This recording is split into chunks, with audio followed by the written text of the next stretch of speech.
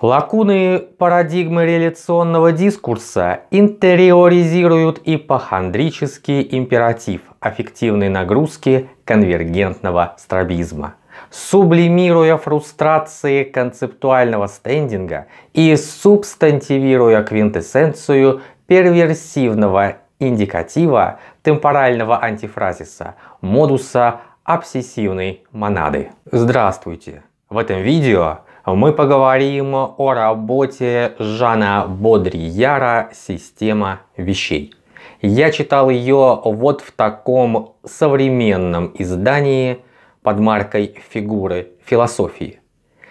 Жан Бодрияр, который жил с 1929 по 2007 год, французский философ-постмодернист, культуролог, социолог, писатель и публицист – одна из крупнейших фигур гуманитарной науки второй половины 20 века. Система вещей впервые опубликована в 1968 году. Это одна из первых работ Бодрияра, которая наметила всю дальнейшую проблематику его творчества. Она представляет собой развернутую критику общество потребления. Автор рассматривает общество потребления с философской, социологической, экономической и культурной точек зрения. Он критикует общество потребления и выявляет его характерные черты, акцентирует внимание на том влиянии, при котором пассивное Изобилие общества потребления превращается в активный фактор общественного сознания и человеческих взаимоотношений.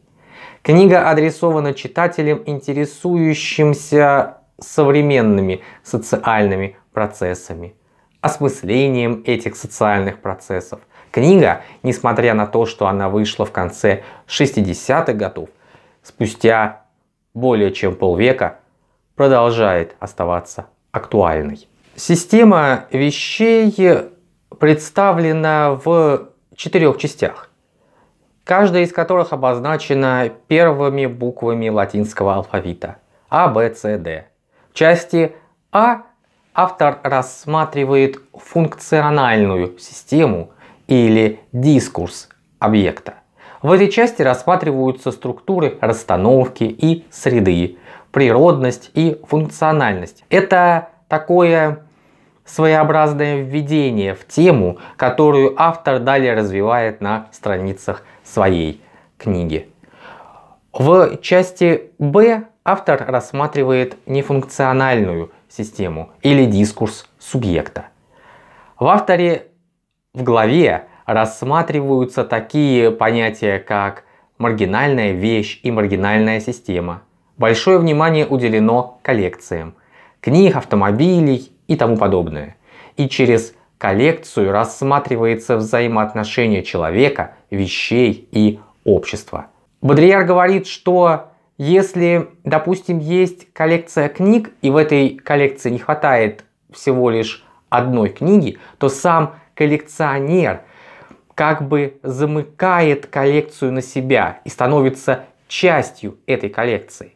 Но в тот момент, когда этот коллекционер находит недостающий экземпляр, он как бы выпадает из этой коллекции и становится рядом с ней, переставая быть ее частью. В части С системы вещей автор рассматривает мета и дисфункциональные системы.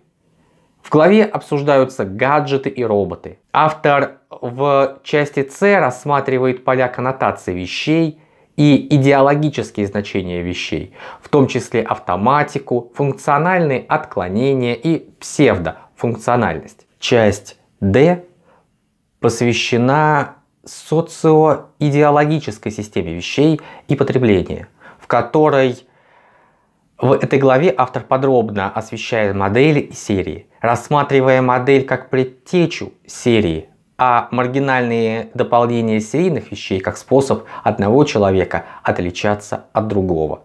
Автор рассматривает кредит как способ получить какую-либо вещь, не заплатив за нее своим трудом. Если раньше человек вначале трудился, зарабатывал деньги, а потом покупал нужную ему вещь, и человек соизмерял количество своего труда, который он затратил, с той вещью, с функциональностью той вещи, которую он хочет приобрести, то сейчас с появлением кредита человек вначале покупает вещь, чаще для того, чтобы выделиться из ряда других людей, чем из-за того, что его привлекла функциональность какой-либо вещи.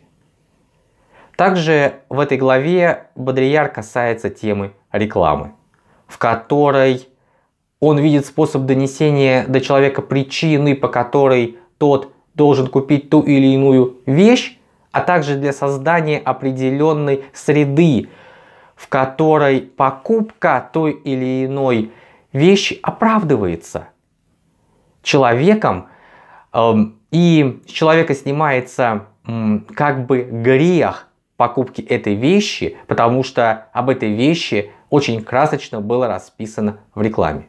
Сама реклама, как, как таковая, перестает информировать о технических достоинствах вещи, о ее функциональности. И реклама переходит в разряд, как говорит Бодрияр, подарка, дара. Реклама предоставляется. Бодрияр отмечает, что есть только лишь один код значений в системе вещь реклама. И этот код всякий раз недобросовестный и непрозрачный. В заключении к системе вещей Бодрияр стремится дать э, определение понятию потребления. Он дает его как с точки зрения того, чем потребление является, так и с обратной точки зрения, от противного то есть говорит о том, чем потребление не является. Тем самым давая вдумчивому читателю возможность самому для себя решить, какой ответ будет на этот вопрос. Что же такое потребление? В конце видео я хотел бы вам показать некоторые страницы из этой книги. Книга напечатана на достаточно хорошей бумаге. Это белая бумага, с достаточно крупным текстом. В книге всего 256 страниц, что меня порадовало как знатока математики, потому что 256 это 2 в восьмой степени.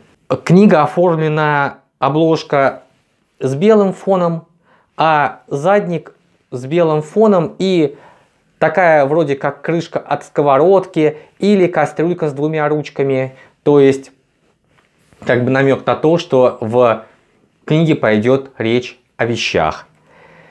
Содержание представлено на одной странице. Было бы странным, если бы содержание было на большем количестве страниц для такой маленькой, небольшой, скажем так, книги. Что меня порадовало в самой книге, это то, что автор, с одной стороны, он использует достаточно богатый философско-терминологический аппарат. Часть слов вы слышали в самом начале этого видео. А с другой стороны, не слишком сильно засыпает читателя этими философскими терминами, и в, в какие-то моменты он переходит на простой, обиходный язык, что дает возможность людям, незнакомыми с философской терминологией, э, проще понимать э, то, что пишет автор. Однако, для более полного понимания книги я в комментариях к этому видео оставлю ссылку на файл, а сам файл положу на какой-то файлообменник, например, Яндекс Диск или Google Docs, в котором я собрал эти философские термины, которые я кропотливо выбирал в процессе чтения, это не исчерпывающий э, философский словарь. Я думаю, что все-таки я упустил некоторые философские термины по причине того, что либо они для меня были прозрачными, и я их свободно понимаю, либо из-за того, что глаз замылился при чтении. Или же отрывок, в котором встречается философский термин, который я не выписал, был настолько интересным, что мне было не до выписывания. Но все-таки я думаю, для тех, кто будет читать эту книгу в первый раз, такой философский словарь послужит хорошую службу. Этим видеоотзывом я открываю серию ви видеоотзывов на книги Жана Бодрияра. Четыре или пять видео будет посвящено этим книгам. А поскольку эти книги достаточно тяжелы для прочтения, например, эту книгу я читал полторы недели, что достаточно долго для такой сравнительно небольшой книги. Поэтому, видимо, теперь видео обзоры книг будут выходить два раза в месяц, а может быть и реже. Поскольку для меня важно разобраться с понятийным аппаратом, который представляет Жан Бодрияр, соотнести это со своим жизненным опытом, чтобы дать вам хорошие отзывы на эти труды. Спасибо, что досмотрели это видео до конца. Это был отзыв и краткий обзор и мои впечатления на книгу Жана Бодрияра «Система вещей». Полезная книга для тех, кто хочет разбираться в современном обществе. Благодарю вас за внимание, подписывайтесь на канал, поставьте колокольчик уведомления, чтобы получать уведомления о новых видео. Если вам понравилось это видео, то поделитесь им в ваших социальных сетях. Отправьте его по WhatsApp. На засим я с вами э, прощаюсь. Желаю вам всяческих э, успехов и до новых встреч.